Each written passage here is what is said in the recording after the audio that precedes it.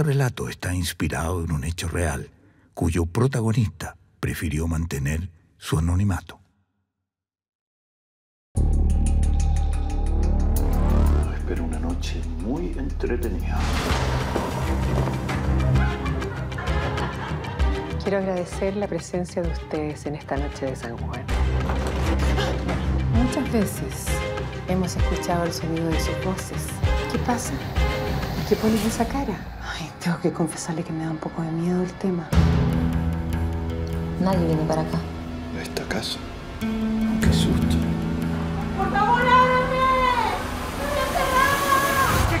Tengo la sensación de que las cosas no están funcionando muy bien. Este es el lugar donde los que ya partieron pueden conectarse con sus seres queridos. Esto parece la casa del misterio.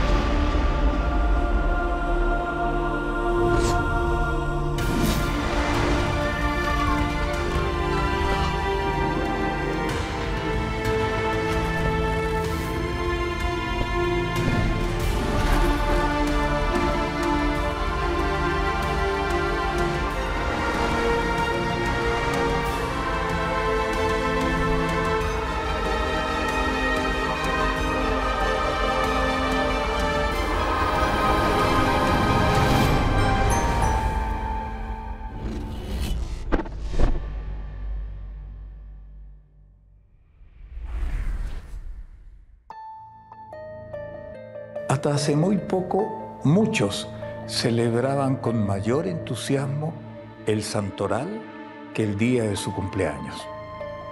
Por eso de pronto la noche de San Juan adquirió especial relevancia. Hasta aquí todo parece normal. Sin embargo, recibir una invitación donde el festejado está muerto es darle alas a la posibilidad de ingresar a la dimensión desconocida. No se trata de creer o no creer, sino simplemente entender que un hecho de estas características podría sucederle a usted el día menos pensado.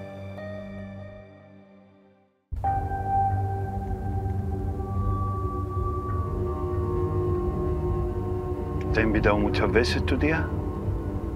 He venido un par de veces, pero es primera vez que me invita como a una celebración. La noche de San Juan. ¿Por qué te ríes? No, digo porque para mucha gente esta es una fecha un poco misteriosa. Lo que pasa es que mi tío se llamaba Juan. Es su santo. Ay, No podían hacerlo para su cumpleaños. Pasa que antiguamente los santos eran más importantes que los cumpleaños. Y mi tía quiere seguir con la tradición. No le veo nada de malo. No, yo no estoy diciendo que tenga nada de malo, solo estoy diciendo que para mucha gente este es un día especial. Sobre todo para la gente que vive acá en el campo. No me va a decir que creen esas cosas. No. Pero le tengo respeto.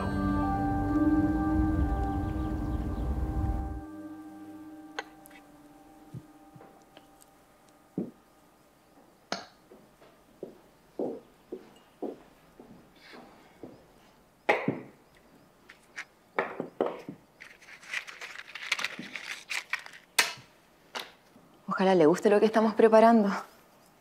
Que yo sepa, Renata no es muy regodiona. Alonso, su marido, lo conozco poco. Me invitaron a su matrimonio y no creo haber cruzado más de dos palabras con él. Usted me hizo preparar comida para 10 y son solo tres en la mesa.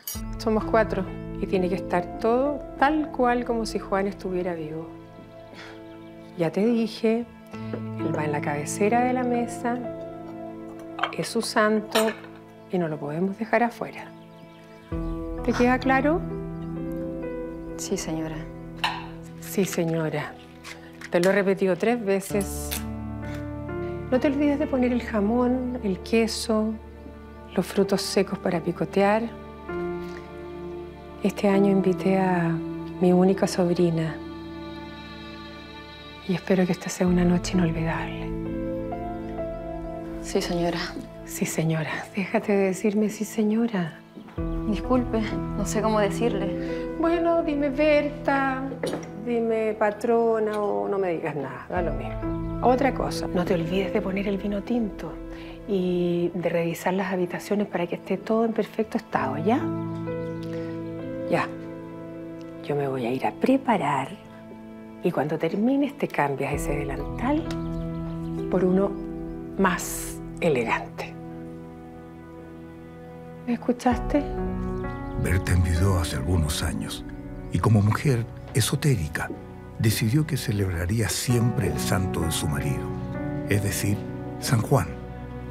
Lo que sorprende en este festejo es que el difunto esposo se sienta virtualmente a la cabecera de la mesa. En esta ocasión los invitados a la cena tan sui generis son su sobrina Renata y su marido Alonso. La encargada de recibirlos es la asistente de Berta, la joven Marcela. Ella trabaja aquí para ahorrar dinero y pagarse sus estudios. Hola, buenas tardes. Hola. Bienvenidos. Llegan justo a tiempo. Hola, ¿cómo te llamas? Soy Marcela. Un gusto, Marcela. Te ayudo con tu maleta. Muchas gracias. Yo soy Renata y él es Alonso, mi marido. Hola Marcela, un gusto. También un gusto. ¿Te ayudo con tu maleta? No, no te preocupes, lo hago yo. Bueno.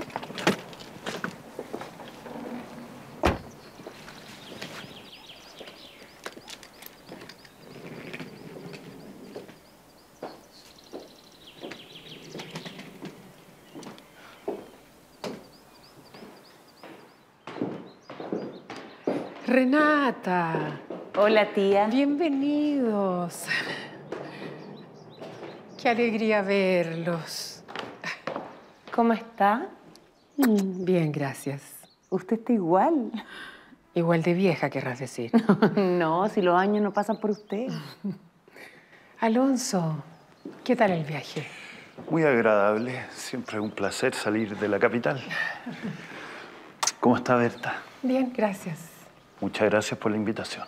No, muchas gracias a ustedes por aceptar acompañarnos. Por favor, adelante, están en su casa. ¿Las llaves? ¿Tienen las llaves de la habitación? Las tengo. Pasemos. Permiso.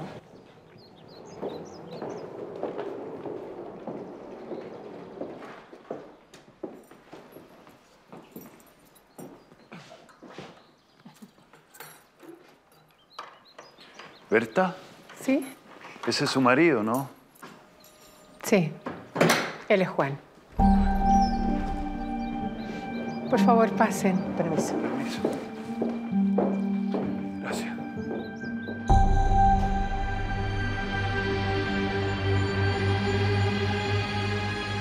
Quiero agradecer la presencia de ustedes en esta noche de San Juan. Muchas gracias, tía. Nosotros estamos muy contentos de estar aquí. Además, que hace mucho tiempo que no nos veíamos. ¿Hace cuánto tiempo murió don Juan? No me gusta usar ese término. Para mí, Juan aún está entre nosotros. Y de alguna forma compartiremos con él esta noche. Perdón, no quise ofenderla. No, no me ofendes. Entiendo que es tu punto de vista. El cuerpo de Juan ya no está, pero permanece su esencia, su imagen, su espíritu. Para mí, Juan es una compañía diaria en esta casa. Yo te dije que mi tía es como la brujita del sector. ¿Verdad? De eso vamos a hablar después. Ah.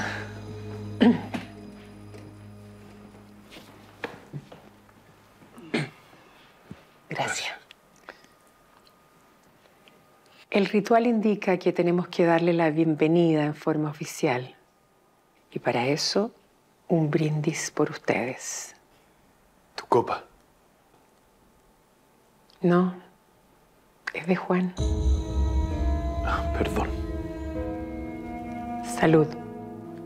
Salud.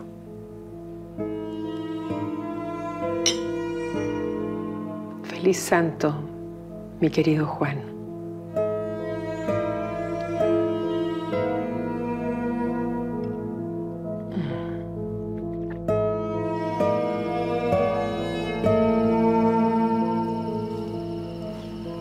Parece un poco rara tu tía?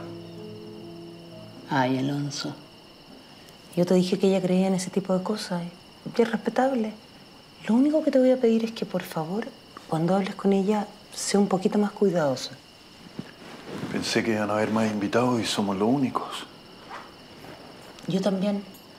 Pero si lo piensas desde un lado más positivo, mejor. Así no tenemos que estar compartiendo con gente que no conocemos. Espera una noche muy entretenida.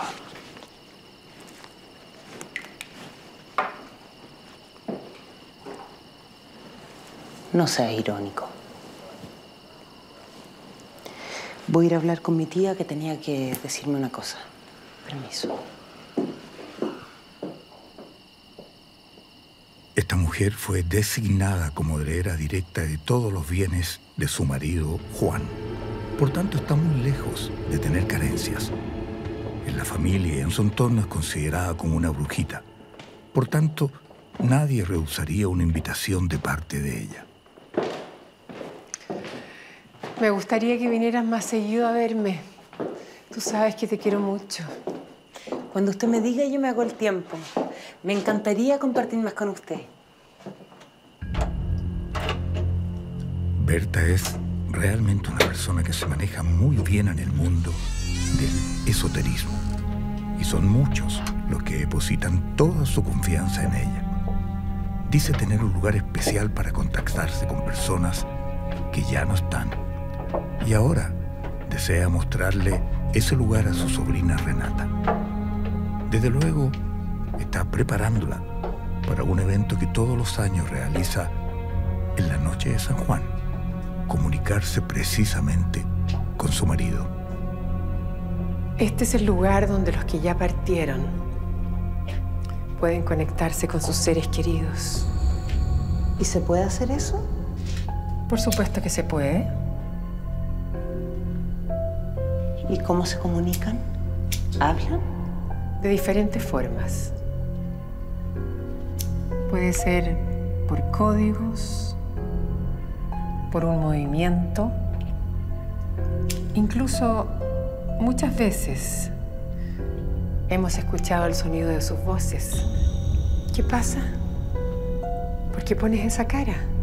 Ay, tengo que confesarle que me da un poco de miedo el tema.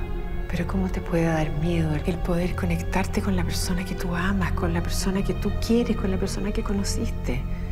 Te debería producir alegría. Eso es lo que siento yo cuando me conecto con Juan. ¿Y usted lo hace muy seguido? No, no muy seguido, porque Juan está todos los días conmigo. Entonces no necesito hacerlo tan seguido. Renata, dime una cosa. ¿Cómo va tu relación con Alonso? ¿Por qué me pregunta eso? Porque tengo la sensación de que las cosas entre ustedes no están funcionando muy bien. ¿O me equivoco? No, no se equivoca. Al poco tiempo de estar juntos, me di cuenta que hay más cosas que me separan de Alonso que que me juntan. Pero ¿cómo se dio cuenta? Más por vieja que por bruja. No es necesario ser bruja para darse cuenta de algo que está en el aire, que, que se siente y que en tu caso se palpa aquí, en el corazón.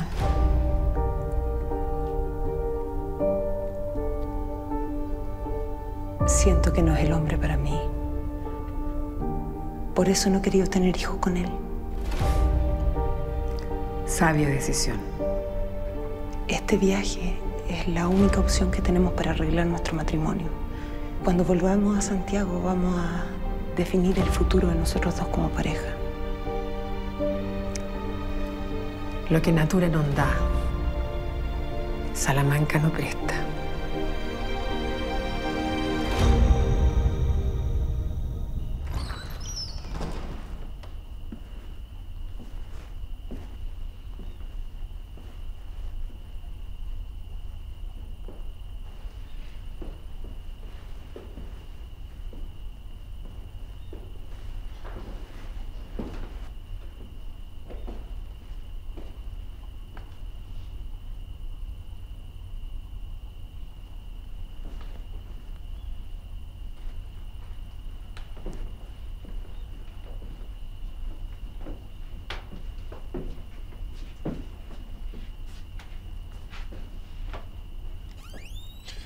Hola, Hola, ¿cómo está? ¿Busca algo? ¿a Renata? ¿La has visto? No, vi que salió con la señora Berta, pero no sé a dónde. Ah, bueno, ya volverán. ¿Quiere una copa de vino? Perfecto.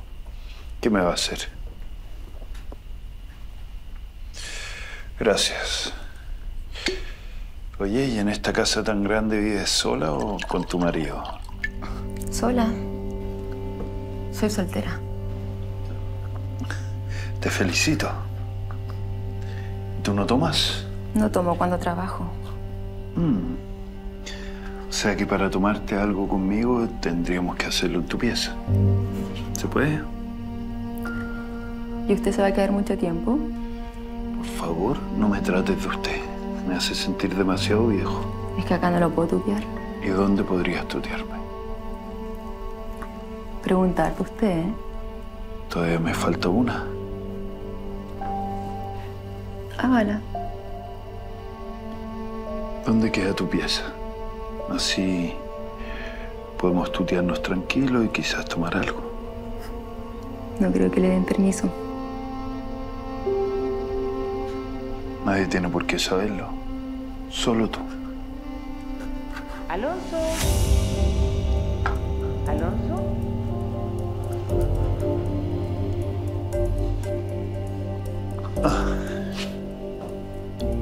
Permiso. Nos vemos. Esta noche será muy especial para quienes habitan la casa y en particular para los invitados. Cada uno tiene expectativas diferentes y cada uno esta noche tendrá lo suyo.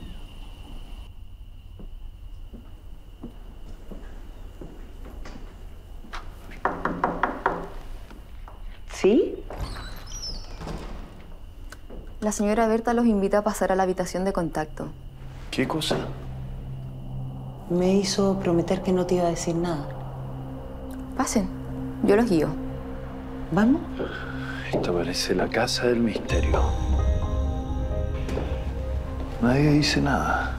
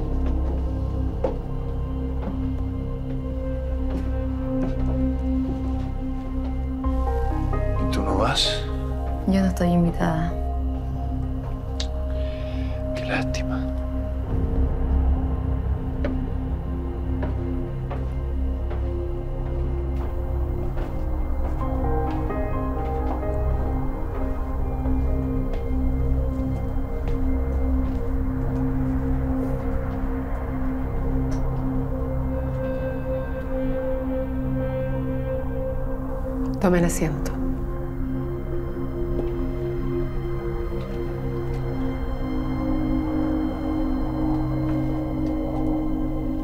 ¿Qué hacemos? Concentrarse y mantener la mente abierta. No es necesario que digan nada.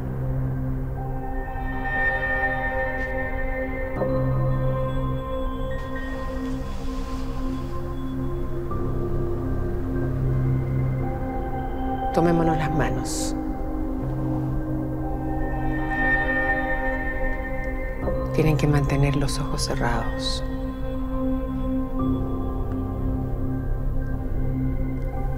Amado Juan, aquí estamos esta noche, como todos los años,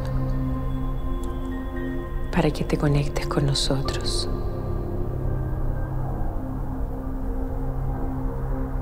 Esperamos tu presencia.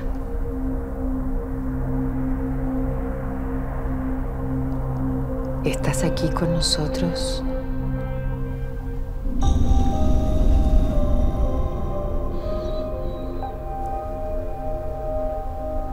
Gracias, Juan, por compartir esta noche con nosotros. Nos acompañan mi sobrina Renata esposo Alonso. ¿Necesitas algo?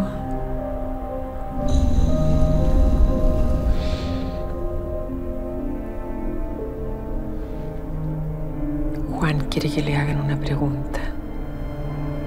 ¿Una pregunta? Sí, cualquier pregunta.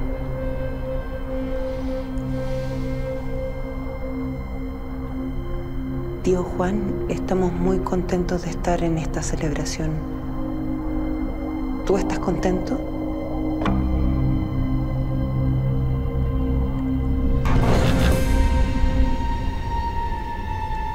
Juan dice que está feliz de poder compartir contigo esta noche. Y ahora tú, Alonso. Necesario? Digo porque no nos conocimos. Juan está esperando una pregunta o un comentario. Don Juan, a pesar de que no nos conocimos, quiero que sepa que estoy muy contento de estar aquí junto a su querida sobrina.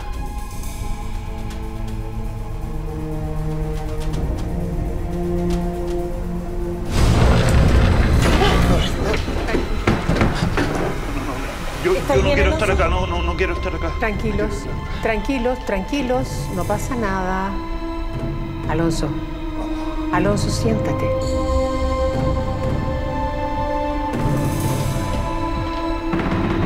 Tranquilo, Alonso, tranquilo.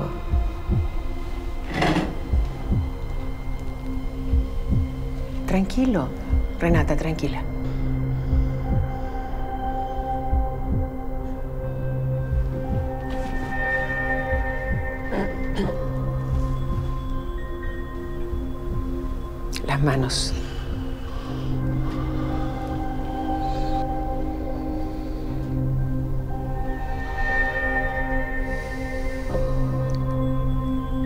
Juan, ¿estás bien?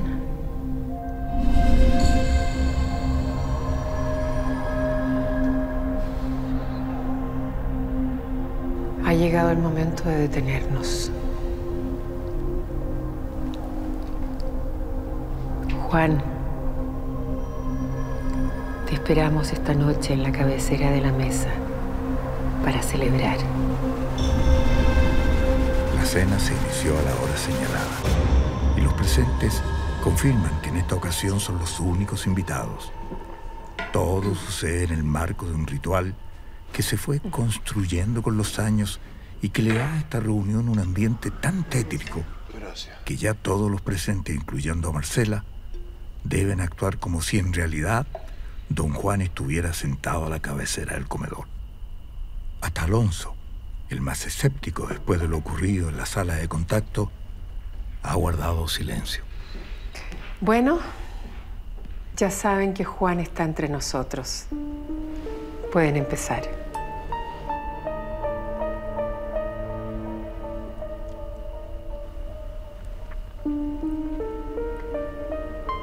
Tía, ¿y usted siempre celebra esta fiesta de manera tan pequeña? No, no siempre. Un mes antes lo consulto con Juan y esta vez me dijo que quería verte. Por eso eres nuestra invitada esta noche. Después de lo que pasó, me gustaría conocer dónde está enterrado. ¿El cementerio queda lejos de acá? ¿Es posible ir a verlo? Por supuesto. Pero él no está en un cementerio. Ah, fue cremado. Cumplí con su último deseo antes de partir. Me pidió ser enterrado en este lugar.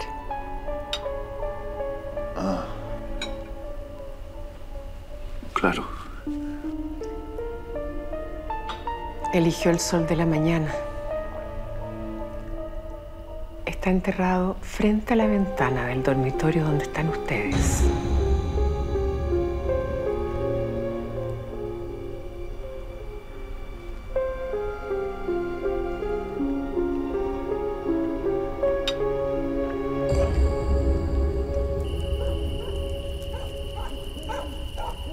Tienen que estar tranquilos por lo que vivimos hace un momento atrás.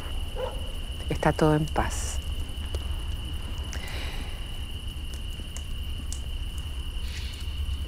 Bueno, ha llegado el momento de hacer honor a esta noche de San Juan. Y para eso, cada uno de nosotros va a escribir un deseo para el próximo año.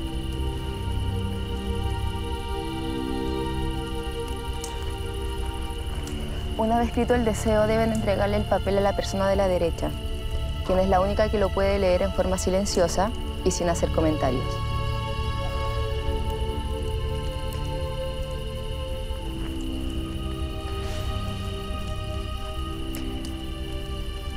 Después que lo hayan leído, tienen que poner el papel sobre el fuego que está encendido. Podemos empezar.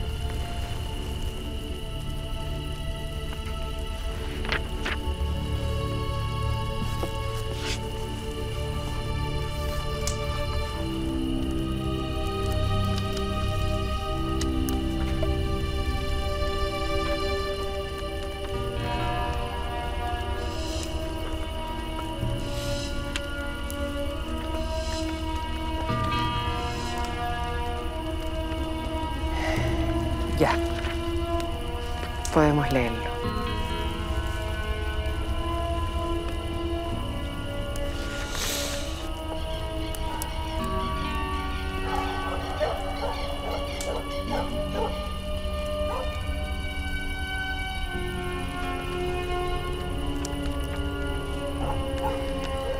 Como ya lo leyeron, lo podemos echar sobre el fuego.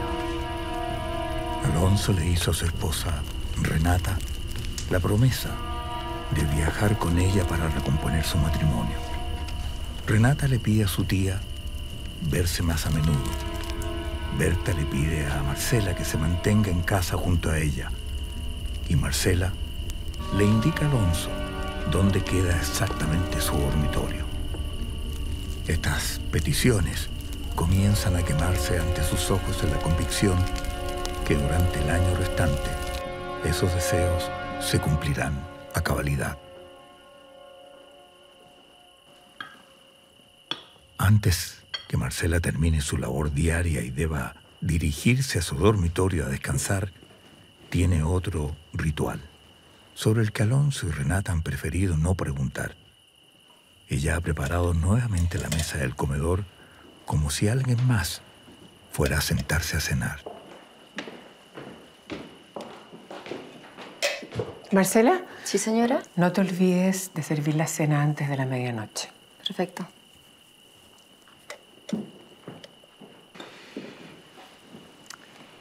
Bueno, creo que ha sido una buena jornada. Espero que hayan aprendido algo más del espíritu humano. Sí, tía. Por mi parte fue una experiencia maravillosa y totalmente desconocida. Para mí también. Yo estoy muy agradecido de haber compartido con usted un momento tan especial. Bueno, y con don Juan también. Lamentablemente tengo un compromiso ineludible esta noche. ¿Va a salir? Sí, es que falleció una vecina y tengo que estar presente. Tengo que ir a santiguar su alma para que pueda partir en paz de este mundo terrenal. ¿Va a volver luego? Sí, es aquí cerca. Ay, ustedes deben estar cansados. ¿Por qué no se van a acostar? Sí, eso voy a hacer. Pero cuando vuelva, despiérteme. Alonso, como tú me pediste que querías conocer la tumba de Juan, te puedo decir que este es el momento exacto. Hoy, a la medianoche. La verdad es que prefiero dejarlo para otro momento. Así aprovecho estar un, un rato con, con Renata. Bueno, que descansen. Buenas noches. Buenas, noches. Las presunciones fueron erróneas. La mesa está servida con la misma rigurosidad que la de ellos. ¿Te diste cuenta que la mesa estaba preparada para más personas? No sé. ¿Mi tía tendrá más invitados a comer? Bueno, debe ser por mañana o quizás más rato. En realidad de tu tía espero cualquier cosa. ¿Tú crees? O sea, lo único que creo es que esta casa es una casa de loco. Ay, mi tía ya te explicó que tiene una concepción distinta de la vida y la muerte. Y en verdad es totalmente válido. Mira, con lo que pasó en la pieza de contacto, mis convicciones se hicieron totalmente trizas. ¿Las tuyas no? Mm, no sé, pero todavía no logro asimilar lo que pasó en ese subterráneo. Yo tenía miedo. Pero tú estabas totalmente aterrado. ¿Me puedes explicar por qué no quieres ir a la tumba de mi tío Juan hoy a las 12? Porque prefiero hacerlo mañana, de día. Lo que la tía Berta y Marcela ignoran es que Renata padece de crisis de pánico y claustrofobia. La crisis de pánico es una sensación de miedo intenso, no existiendo razones ni peligro aparente para experimentarlo. Son verdaderos ataques de pánico. La claustrofobia, por su parte, es un trastorno de la ansiedad. Es una fobia a permanecer en espacios cerrados, generando también un miedo incontrolable en quienes lo padecen. Los síntomas de estos trastornos son similares y provocan un verdadero caos en sus víctimas. Ella evita decirlo, sobre todo ahora que ha comenzado un tratamiento.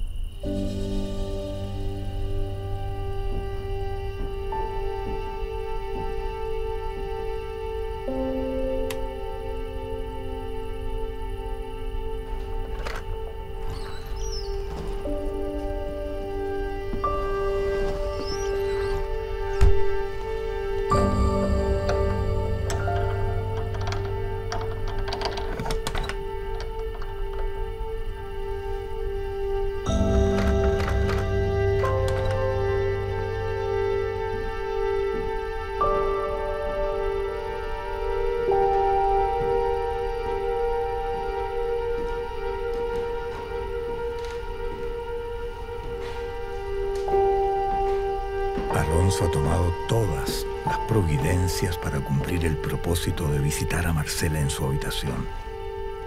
Renata, su esposa, se acostó temprano y satisfecha porque la propuesta de recomponer el matrimonio esta vez nació de él. Desde luego ignoraba que sus planes eran otros. Esta casa es inmensa y oscura y es la razón por la cual Alonso está inquieto y nervioso con esta búsqueda.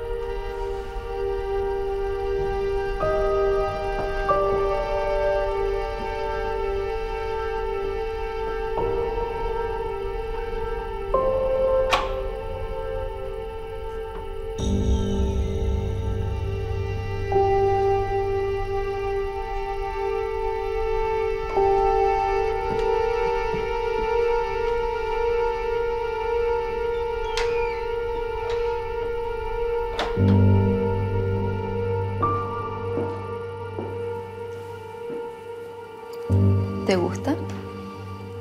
Me encanta. Ahora podemos tutearnos y hacer todo lo que tú quieras.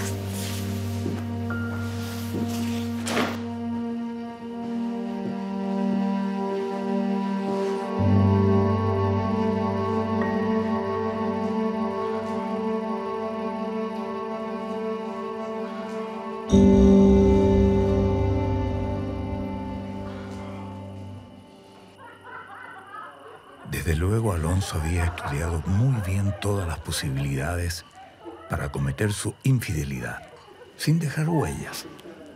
No esperaba, por cierto, que Renata despertara antes que él regresara a su dormitorio. La razón que originó el desvelo de esta mujer fue la bulla que comenzó a emerger desde afuera. Seguramente mientras la ocasionaban no tenían conciencia que existía alguien que requería tranquilidad para dormir.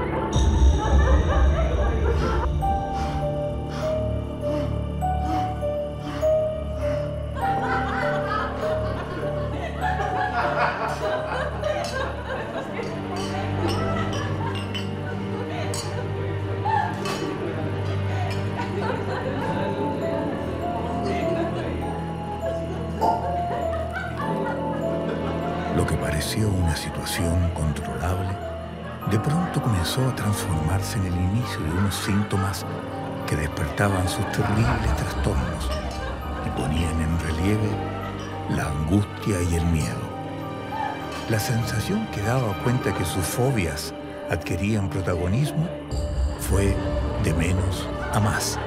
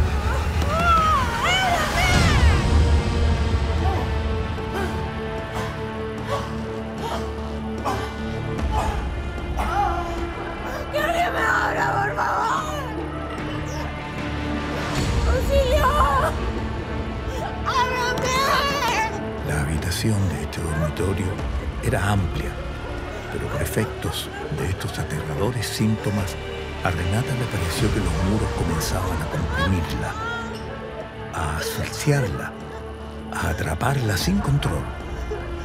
Sus desgarradores gritos se anularon ante el ruido ambiente en aquella velada de segundo turno.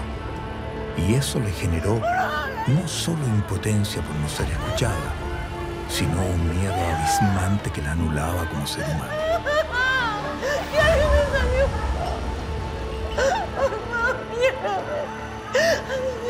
En esta desesperación sin fin, Renata tuvo chispazos de lucidez, que más bien obedecieron una suerte de instinto de sobrevivencia y que le hicieron pensar que de esta celda podría escaparse si es que no deseaba sucumbir en el intento.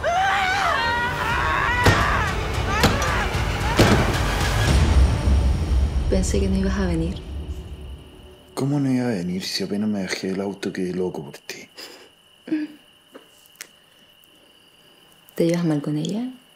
Con Renata. Pienso que estamos atravesando la última etapa de nuestro matrimonio. Lo hemos conversado y cuando volvamos vamos a ver el tema del divorcio. O sea, ¿me vas a venir a ver? ¿A esta casa? No, qué susto. Mejor nos juntamos en un motel. ¿Qué días tienes libre? Viernes, sábado y domingo por medio. ¿Escuchaste? Parece que viene alguien. Tu patrona. No, no, ella nunca viene. ¿No será tu señora? Renata, no es posible. No, no tiene por qué saber que estoy acá.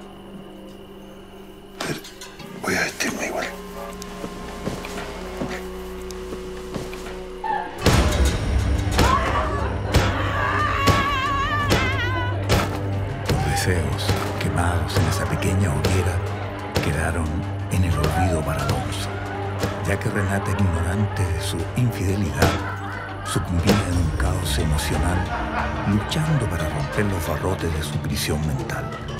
Tras denodados esfuerzos, ella logró romper la gruesa puerta de ese dormitorio, pero aún así ¡Auxilio! nadie la tomaba en serio.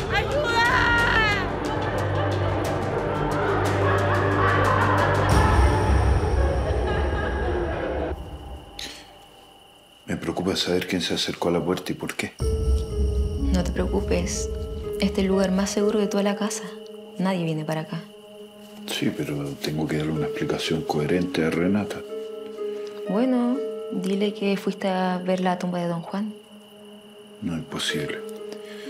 Se ve desde la pieza.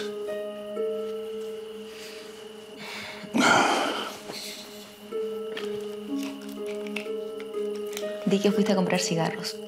No quedan. Y di que te perdiste. Y así te quedas un rato más conmigo.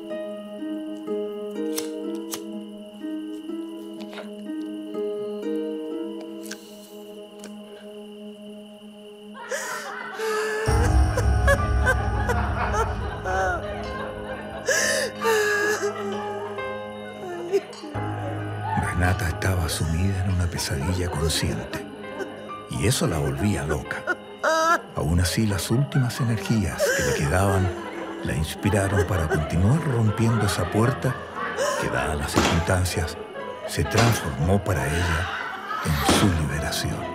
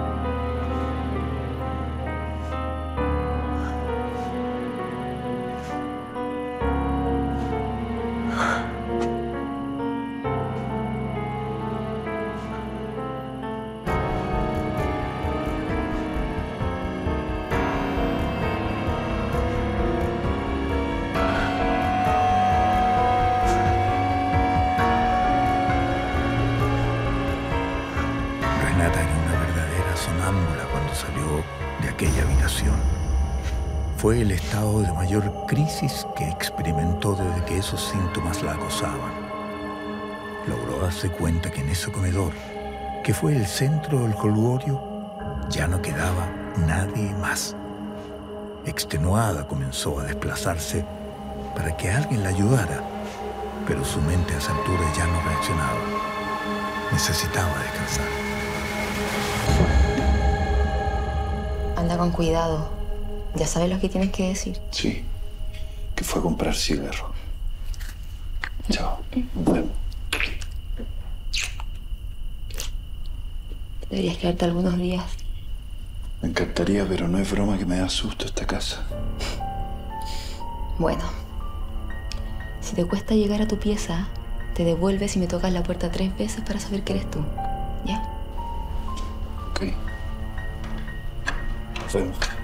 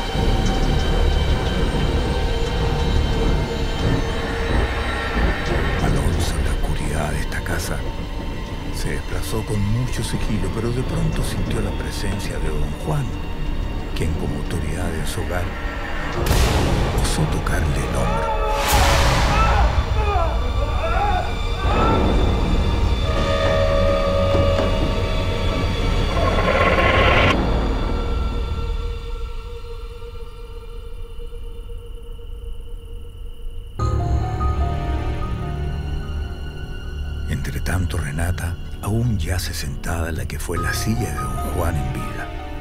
Su conciencia permanece congelada y mientras divaga lo que pudo suceder, esta joven mujer no logra interpretar la razón de aquella fiesta que se organizó como una segunda tanda. Pero aún quedaban misterios por resolver.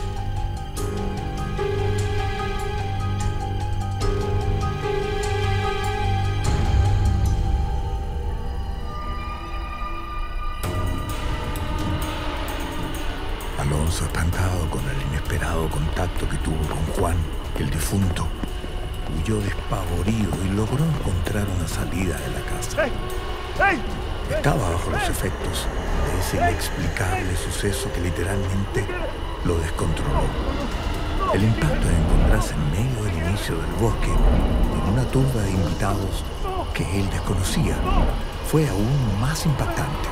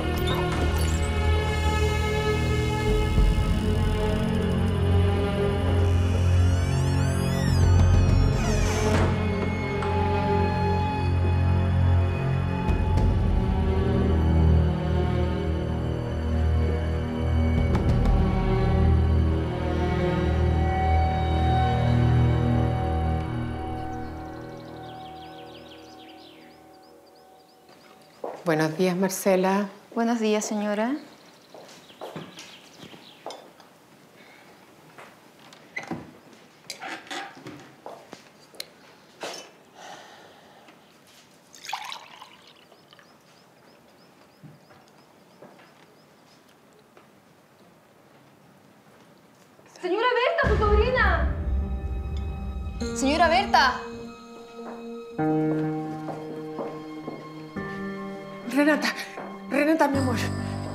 Pasó? ¿Estás bien? ¿Qué? No sé qué. No sé qué pasó anoche. Me quedé encerrada y. y busqué a Alonso.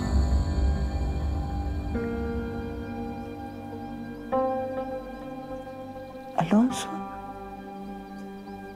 ¿Y tú sabes dónde está Alonso? No, señora. Yo anoche lo vi y dijo que iba a ir a comprar cigarros. ¿Y a qué hora volvió? Porque el auto está estacionado. No sé, señora. Yo me fui a acostar después, no supe nada más.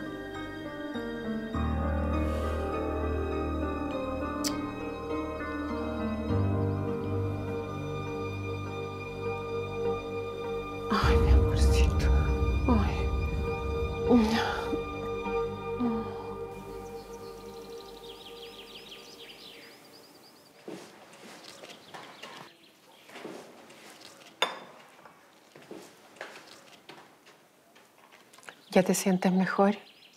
Sí. Me acuerdo un poco lo que pasó anoche.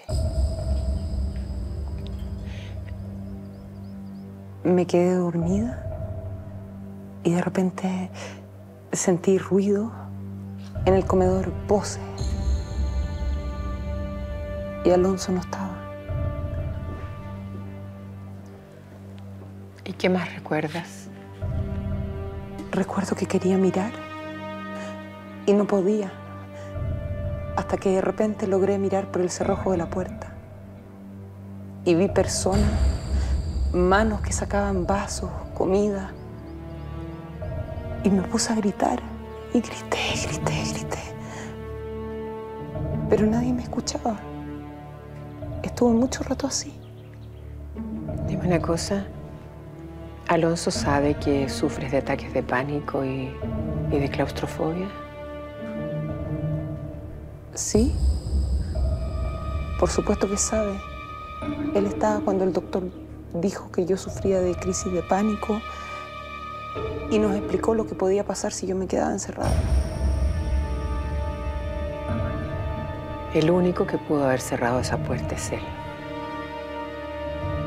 Cuéntame qué pasó después de que la abriste. Respiré hondo y salí para pedirle ayuda. Pero cuando salí no había nadie. Estaba todo igual. Igual que cuando me había ido a acostar. ¿Por qué estaba la mesa puesta? Bueno, porque para la noche de San Juan yo le preparo una cena a varios de los amigos de Juan que ya han partido. Incluso a los espíritus que me acompañan. También recuerdo que había un, un muñeco que se sentó al extremo de la mesa.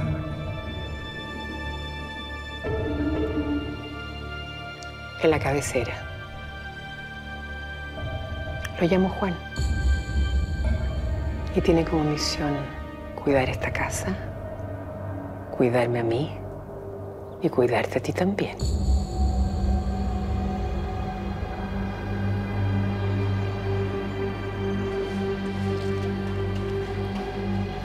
Marcela, ¿Sí, señora?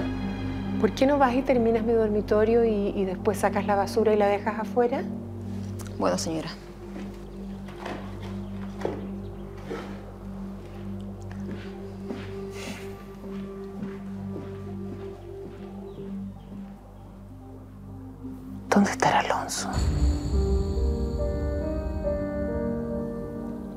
Idea. Dime, ¿todavía te interesa? Digo, como, como esposo. Yo sentía que te dije que estábamos en una crisis. Pero ayer me escribió un deseo tan lindo. ¿Qué te decía? Me decía que quería que viajáramos. Imagino que quería arreglar las cosas. ¿Y tú le crees? Un deseo así creo que merece una oportunidad.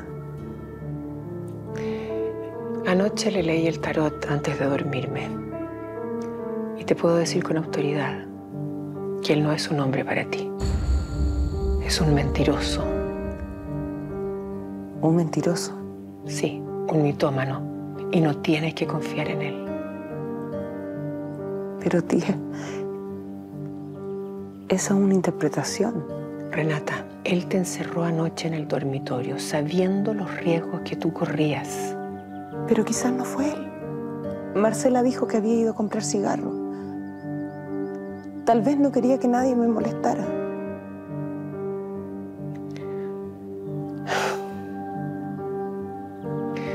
¿Sabes dónde estaba él anoche mientras tú dormías? En la pieza con Marcela. ¿Ella te lo dijo?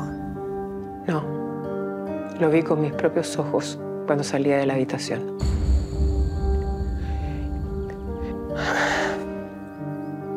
No quería decírtelo, pero eres mi sobrina y no puedo ser desleal contigo.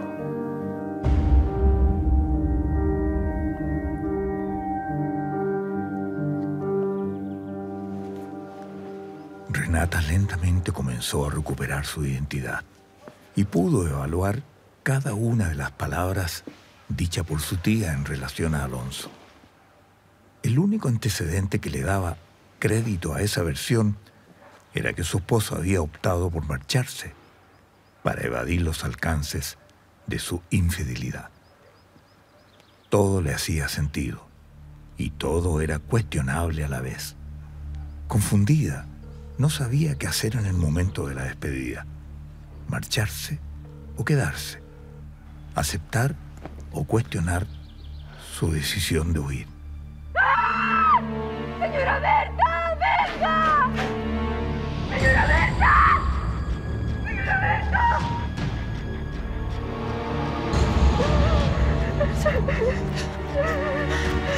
El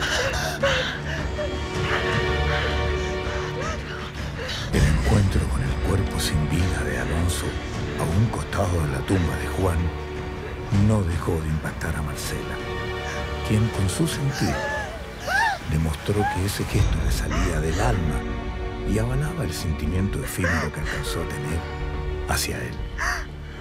La muerte de Alonso fue una verdadera tragedia griega.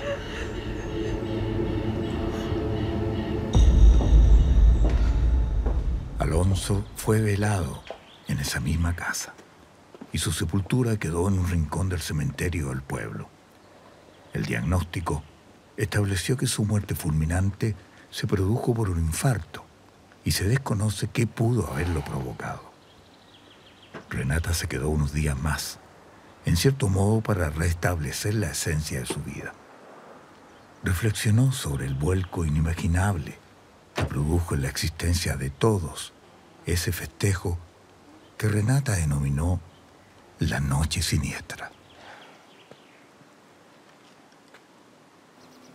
Gracias, tía. Le prometo que para las vacaciones de verano voy a venir. Puedes venir cuando quieras. Esta es tu casa, tu familia. Gracias.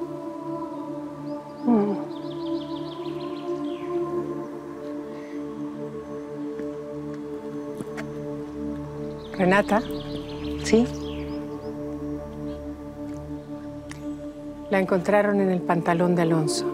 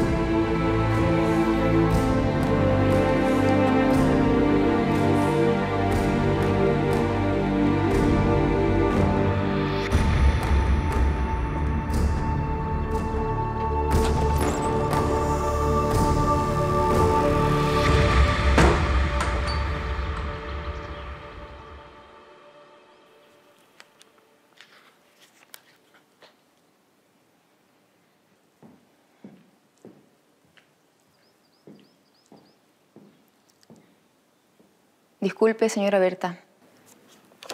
¿Sí? Quiero decirle algo. Dime. Que, mm, bueno, trabajando con usted yo he podido ahorrar algo de plata y mi familia me necesita. ¿Qué me estás queriendo decir? Bueno, nunca pensé que le diría esto, pero mm, tomé la decisión de renunciar a mi trabajo. ¿Estás segura? Bueno, Marcela, tú ya eres una persona grande, que sabe lo que hace.